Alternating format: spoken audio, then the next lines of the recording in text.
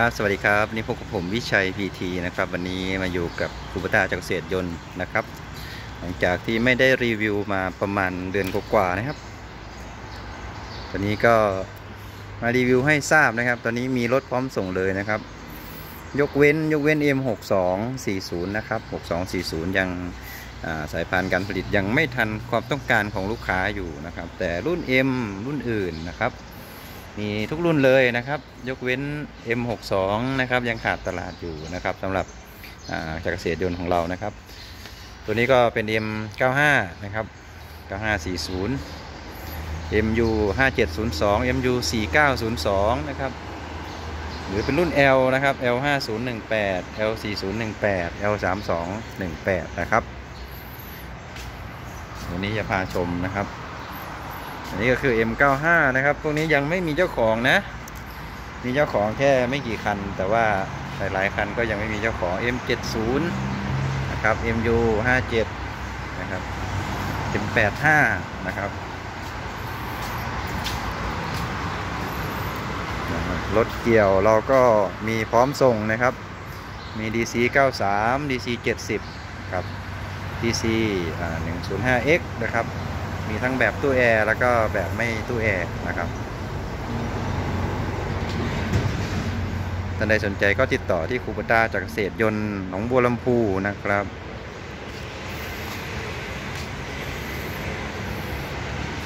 ตัวนี้ก็เป็น M70 40 นะครับ นี่ MU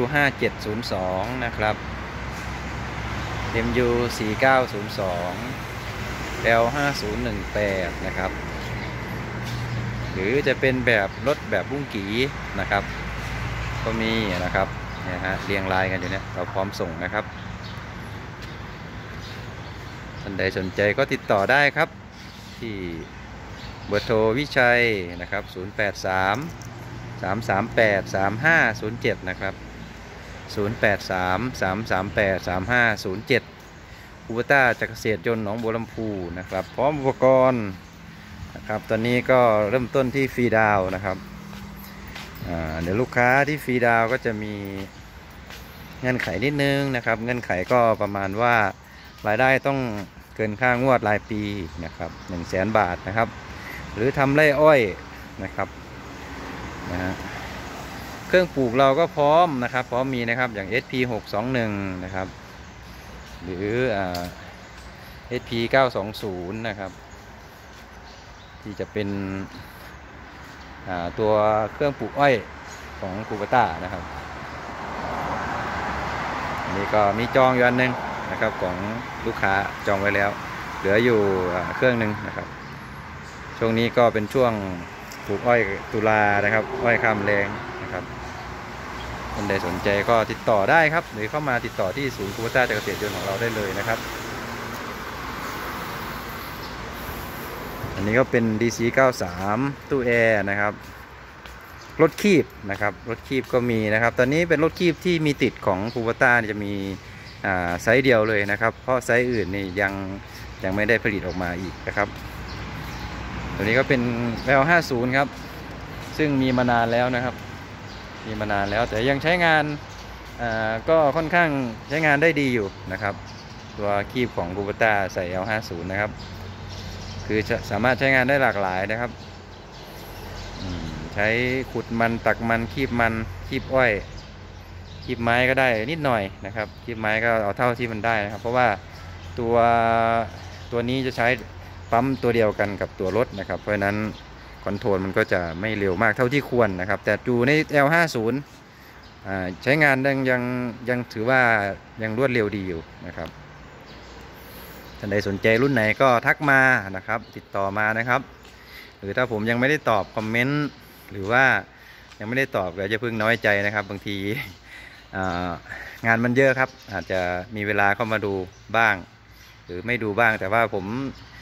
สัญญาว่าจะไล่ตอบคอมเมนต์ของท่านนะครับ หรือว่าท่านใดใจร้อน อยากจะคุยกับตัวผมสดๆ ตัวเป็นๆก็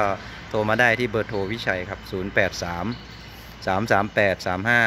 3507 นะครับ 083 338 3507 นะครับ ยินดีคุยกับทุกท่านนะครับแต่ขอความกรุณานิดนึงว่าหลังจากสี่ทุ่มไปแล้วก็ขอขอพักผ่อนนะครับ บางท่านโทรมาตีหนึ่งตีสองก็มีนะครับ อย่างนี้ก็ผมก็อาจจะงัวเงียนิดนึงนะครับ อาจจะไม่รับสายหรืออาจจะกดสายทิ้งนะครับ ยังไงก็อ่าฝากในเรื่องอโทรมาหานะครับ แต่ถ้าเป็นเวลาทั่วไป อย่างนี้ก็ผมก็ยินดีคุยกับทุกท่านนะครับ ให้คำปรึกษาได้ทุกท่านนะครับ ผมนี่นะฮะ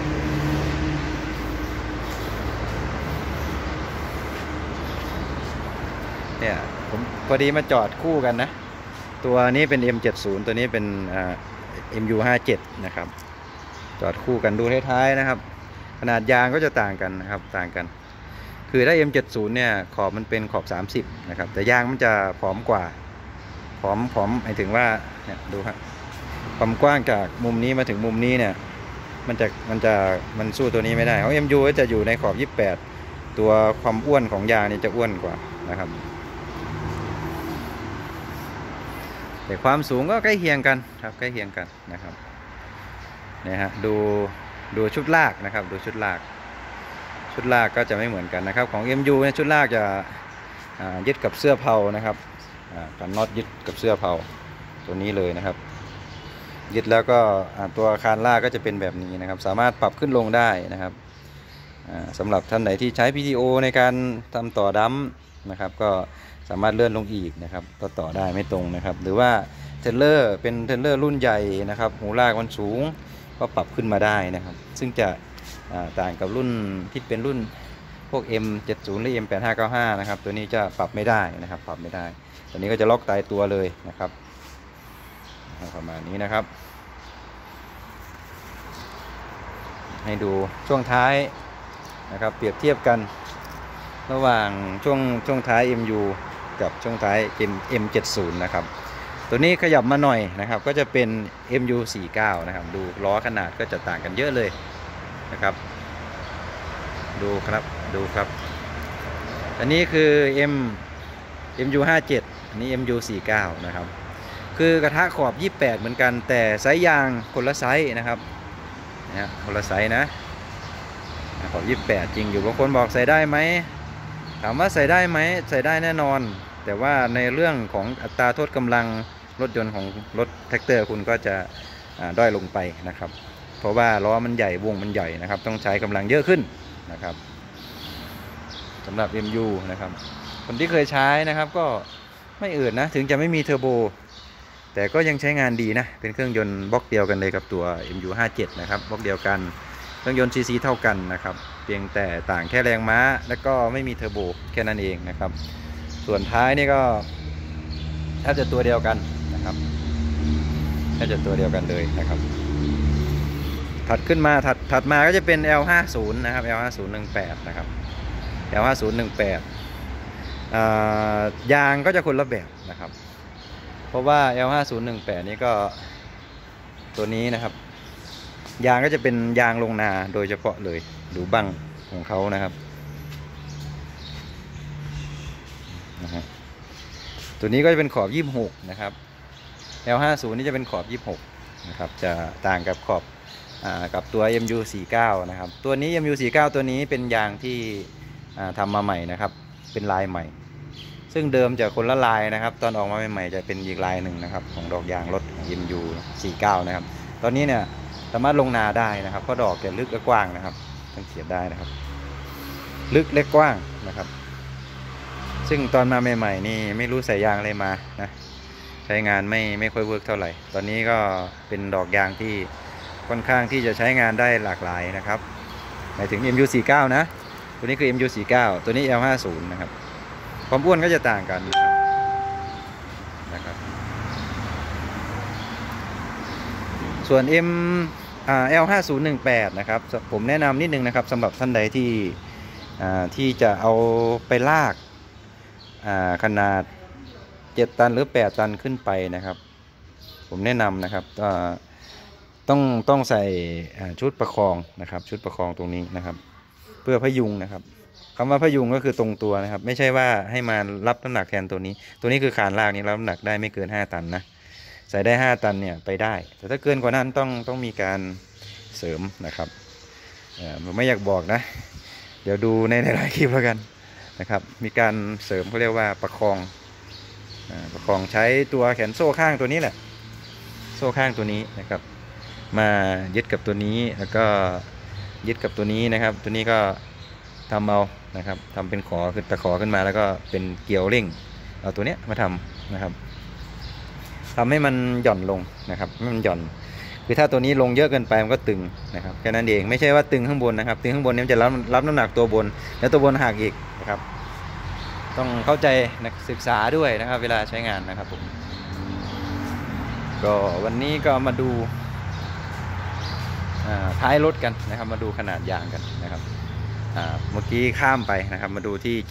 70 70 กับอ่า95 นะครับ 70 กับ 95อ่าตัวนี้ 85 ตัวนี้ 95 นะครับ เรียงให้ให้เห็นเลยนะครับ 95 85 แต่ว่าอ่าก็85 95 ก็คือ body เดียวกันอยู่แล้วนะครับ body เดียวกันนะครับ ต่างแค่แรงม้านะครับกับเทคนิคเล็กๆน้อยๆพวกชุดยกชุดยก ชุดปั๊มอะไรเงี้ยครับแรงดันแรงดันปั๊มอะไรจะต่างกันเล็กน้อยนะครับ แต่ว่า body โดยรวมก็จะเหมือนเหมือนกันยางขนาดน้ำนงน้ำหนักเท่าเท่ากันนะครับ การใช้งานเกียร์ทุกอย่างเหมือนกันนะครับ ตัวนี้ก็จะดู 70นะฮะนี่คือล้อ 70 นี่คือล้อ 85 นะครับ ก็จะอ้วนๆความสูงก็จะต่างกัน เพราะว่าขอบคนละขอบนะครับ ตัวนี้เป็นขอบ 30 นะครับ ตัวนี้ก็ 30 เหมือนกัน แต่ว่ายางเป็นขนาดที่ 18.4 30 นะครับ ตัวนี้จะเป็น 16.9 30 นะฮะเนี่ยเขาเขียนไว้อยู่นะผมก็ไม่ได้เซียนอะไรมากเราก็อ่านเอาคำๆส่วนชุดคานลากอะไรก็จะคล้าย ๆกันนะครับ ก็ใกล้ๆเคียง ชุดแขนลากก็จะเสริมแข็งแรงนะครับ แข็งแรงเหมือนกันนะครับ ชุด ชุดตัวนี้จะกระบอกยกก็จะยกได้เยอะขึ้นนะครับผู้ชุดโซ่ข้างนี้ก็จะใหญ่ขึ้นนะครับ ใหญ่ขึ้นตามตามรถนะครับนะฮะยางคนละไซส์กันนะครับ ตัว 70 กับตัว MU ก็คนละไซส์นะตัว MU นี่จะเป็นแบบนี้นะครับนะครับ MU 49 นะครับนี่ MU 49 ก็เป็นแบบนี้นะครับ คือตัว MU เนี่ยสังเกตได้นะครับว่าาชุดชุดเขียนยกเนี่ยมันจะยาวกว่านะครับให้เทียบเทียบดูได้ครับ มันจะยาวกว่ามันจะยื่นออกจากท้ายรถเยอะกว่านะครับเพราะฉะนั้นการยืดออกเยอะรถก็จะยาวกว่านะครับ มันก็จะเข้ามาาใส่อุปกรณ์ปลดอุปกรณ์ได้ง่ายนะครับ ซึ่งซึ่งต่างจากตัว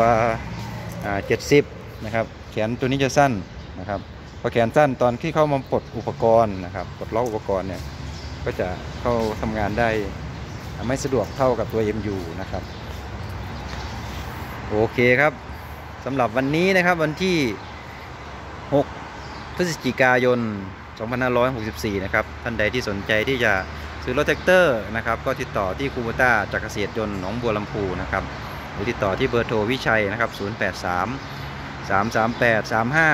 3507 ครับ รถเราพร้อมส่ง ยกเว้นตัว M62 นะครับ M62 เนี่ยคุณจะซื้อนะครับ คุณต้องอจองมานะครับ ต้องจองมานะครับถึงจะมีออเดอร์เข้ามาให้นะครับ ก็ต้องขออภัยท่านาลูกค้าที่จะเช่าซื้อนะครับ วันนี้เราก็มาแจ้งรายงานนะครับว่ารถเราพร้อมส่งอยู่นะครับ